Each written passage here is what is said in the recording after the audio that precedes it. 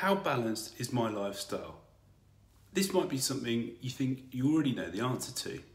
We all want to ensure we have an even distribution of time between work, play, family, friends, etc. However, how much thought have you given this and how much detail have you got into? The following questions might help you think about things a little differently. What does lifestyle actually mean to me and why is it important? Are there any aspects about the way I live that I'm ignoring or pretending not to be aware of? Is my ratio of work to play evenly balanced? How much time do I dedicate to the things I really want to be doing? Which list tends to be longer for you on a daily, weekly and or monthly scale? Things I have done or things I haven't done?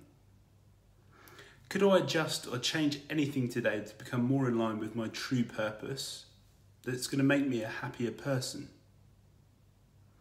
These answers will be different for everyone. They've dramatically changed for me since COVID lockdown.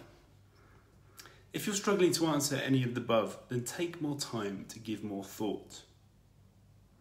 Hopefully, you'll gain some positive perspective and helpful insights from diving deeper into this. I'd love to know your thoughts. Please let me know below.